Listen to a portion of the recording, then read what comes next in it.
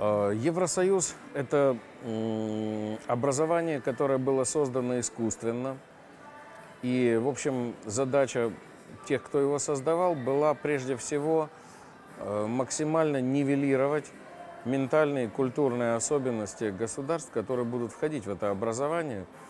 Тут вопрос не только валютного контроля за счет единой денежной единицы, а вопрос в том числе и психологического, и интеллектуального давления на страны, э, члены этого союза. На сегодняшний день попытка создать некое безликое мультикультурное сообщество, она, в общем, терпит фиаско. И в Европе, слава богу, все страны, независимо от того, большие они или маленькие, они все больше и больше цепляются за свои корни, за свои национальные интересы и так далее. Поэтому я думаю, что то, что останется от ЕС впоследствии, это, скорее всего, будет, да, безусловно, режим открытых границ.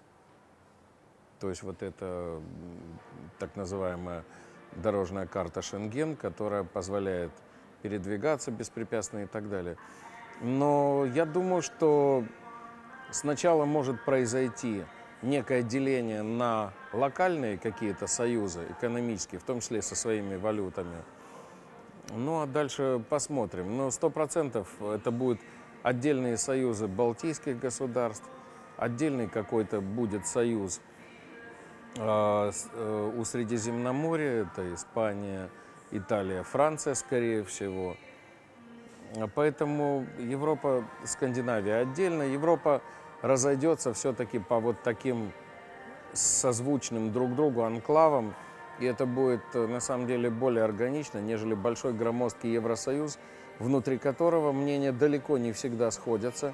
И далеко не всем интересно, опять же, исполнять э, указания Вашингтона, прям так сразу сходу взяв под козырек. Поэтому я думаю, что эта ситуация через какое-то время изменится уже на наших глазах.